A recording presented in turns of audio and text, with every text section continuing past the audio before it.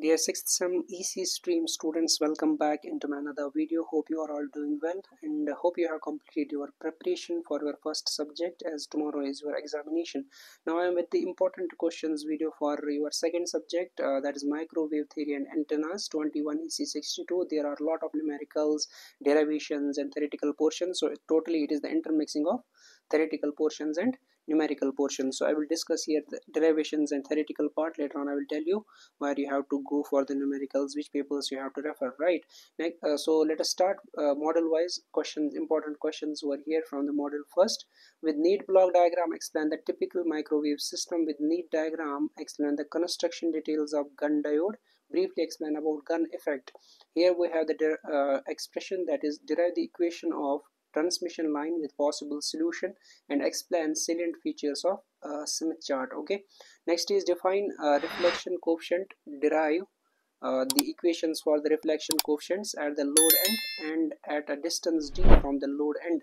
Discuss the characteristics of magic t okay? So as far as numericals or problems are concerned you should refer 18 ec 63 and also model paper okay so that you can cover the varieties of numericals. Next is model second prove that impedance and admittance matrices are symmetrical for a reciprocal junction. Explain different types of attenuators with neat diagram explain the principle and working of precision time variable at attenuator and derive the S matrix representation of a multi-port network. This is super important question. Also define the losses in terms of S parameters. With neat diagram, explain the construction, working and applications of isolator. List the characteristics of the magic T when all the ports are terminated with a matched load. Also derive the expression of S matrix for magic T. This is again a super important question. Most of the times VTU has asked this question.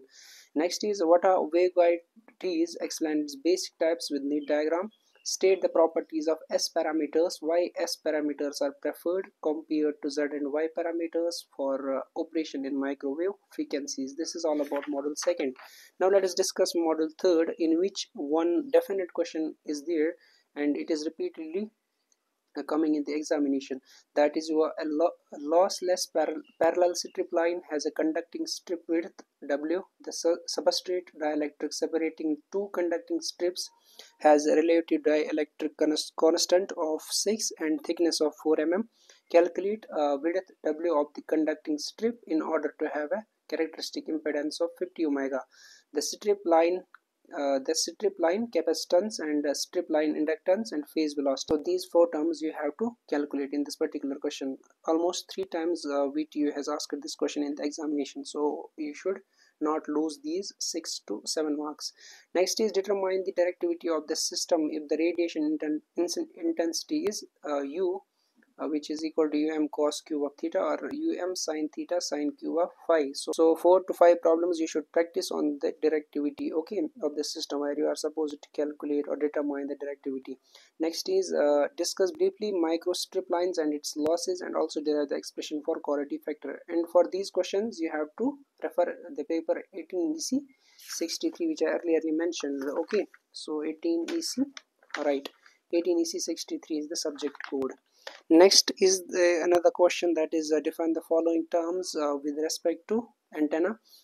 Beam area radiation intensity beam efficiency directivity radiation pattern and explain the radio communication link in brief. Derive characteristic impedance of microstrip line and of shielded strip line. So for both these uh, strip lines you have to calculate you have to derive characteristic impedance okay? So this is all about model third. Now let's move to the model four. These 20 marks you can easily grab if you cover these six uh, uh, six questions. Starting from electric and magnetic potential obtain the far field components for short dipole. Derive an array factor expression in case of linear array of n isotropic point sources of equal amplitude and spacing Make use of Poynting theorem, uh, derive the expression for radiation resistance of short dipole with uniform current. And next we have derived the expression to calculate the bandwidth of a given antenna and derive the field equations and draw the radiation pattern indicating HPBW and FNBW for two point sources. Fed with equal amplitude and opposite phase or sometimes equal amplitude and equal phase.